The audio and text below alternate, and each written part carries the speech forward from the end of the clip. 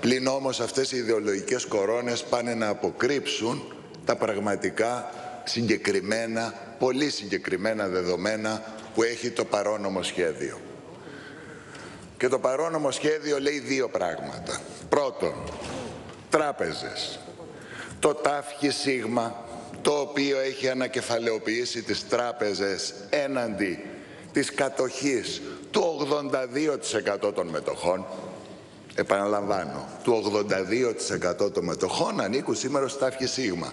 Αυτό το τάφχη σίγμα λοιπόν σήμερα με το παρόνομο σχέδιο παρετείται από ορισμένα δικαιώματα. Πρώτο δικαίωμα.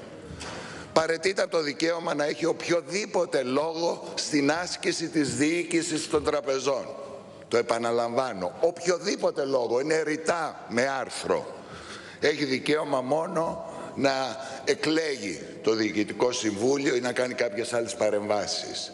Δεύτερον, τα δύο μέλη τα οποία έχει στο Διοικητικό Συμβούλιο σήμερα με δικαίωμα βέτο, διότι έτσι γίνεται συνήθως, τα οποία επί δύο χρόνια παραμένουν σιωπηλά, δεν επεμβαίνουν ποτέ στη διοίκηση, αφαιρείται το δικαίωμά τους ΣΑΗ να έχουν οποιαδήποτε αρμοδιότητα. Τρίτον, το τάβγι σίγμα παρετείται από το δικαίωμά του να υπερασπίζεται την τιμή της μετοχής την οποία αγόρασε. Παρετείται. Διότι όταν μιλάμε για την τιμή της μετοχής έχουμε δύο επιλογές βάσει του νομοθέτη. Ή δύναται ή δεν δύναται να πουληθεί χαμηλότερα η τιμή. Μέχρι τώρα ο νομοθέτης και σωστά έλεγε δεν δύναται να πουληθεί χαμηλότερα η τιμή. Μπορεί να πουληθεί στην ίδια ή μεγαλύτερη τιμή από αυτή την οποία απόκτησε το τάφχη σίγμα της μετοχές, επαναλαμβάνουμε χρήματα του ελληνικού δημοσίου. Σε μια συγκυρία λοιπόν που η κυβέρνηση λέει success story έρχονται λεφτά, αγοράζουν μετοχές των τραπεζών. Όντως, σε τιμή ανώτερη από αυτή του τάφχη σίγμα. Όντως, λέω εγώ. Τι θέλει ο νομοθέτης και προεγγράφει ότι αύριο θα πληρώσουμε σε τιμή μικρότερη. Βρείτε μου ένα οικονομικό λόγο, παρά έναν μπορώ να σκεφτώ, αγοράζετε σήμερα, αύριο θα σας δώσουμε και το υπόλοιπο 70% σε κάποια τιμή την οποία θα κάνουμε δια της οδού της πολιτικής συμφωνίας. Δεν υπάρχει άλλος λόγος. Υπάρχει και ένα άλλο πολύ συγκεκριμένο επιχείρημα, το οποίο διεκδικώ και μιας και δεν έχει προτάσεις ο ΣΥΡΙΖΑ, καλώ την κυβέρνηση να το ακολουθήσει. Στις τράπεζες δώσαμε 25 δις και άλλα 13. 38 στο σύνολο. Τα 13 ήταν για τις Κυπριακές, ΑΤΕ και τα λοιπά. Υπό, υπόθηκαν και πριν. Αυτή τη στιγμή η τιμή είναι στα 22,5 δις, έχει απολέσει το ΤΑΦΚΙ ΣΥΓΜΑ ένα μικρό ποσοστό.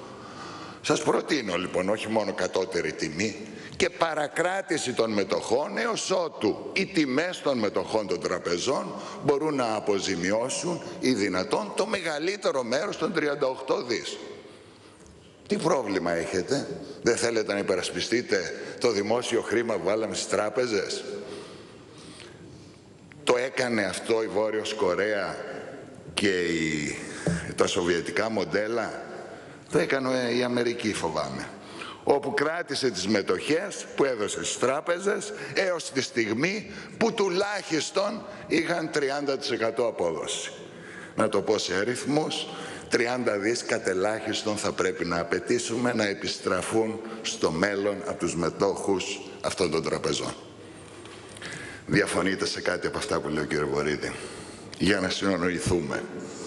Πρώτον, δεν πουλήσει η αριστερά τις τράπεζες. Τις τράπεζες από το 1995 έως το 2002 τις πουλήσατε όλες εσείς οι όποιοι κυβερνούσαν τότε. Ρεκόρ ιδιωτικοποίηση στις τράπεζες. Η Γερμανία έχει την Deutsche Bank κρατική. Η Γαλλία, δόξα τω Θεώ, πολλές. Όλη η Ευρώπη έχει κρατικές τράπεζες. Μόνο στην Ελλάδα δεν έμεινε καμία γιατί θεωρήσατε ότι είναι ε, ακραίο. Άρα δεν φταίει η αριστερά που τις ιδιωτικοποιήσατε. Δεύτερον, τις έριξαν στα βράχια. Εμείς τις ρίξαμε στα βράχια. Είναι δυνατόν να το λέτε αυτό; Τις έριξαν στα βράχια. Τις ανακεφαλαιοποιούμε με δημόσιο χρήμα, συμφωνήσατε κι εσείς. Και Και έρχεστε σήμερα να μην περάσετε την κόκκινη γραμμή που λέει παρασπιζόμαστε αυτό το δημόσιο χρήμα. Δεν μπορεί να τα χαρίζετε μονάζιγα δικά σας. Το καταλαβαίνετε. Η κυβέρνηση εκφράζει με ανίπο, αδιανόητο τρόπο τα πιο στενά, φρικτά στενά συμφέροντα πέντε ανθρώπων που ελέγχουν τις τράπεζες. Και αυτή είναι η κόκκινη γραμμή την οποία όχι αυτή η Βουλή, καμία Βουλή δεν μπορεί να περάσει. Ευχαριστώ.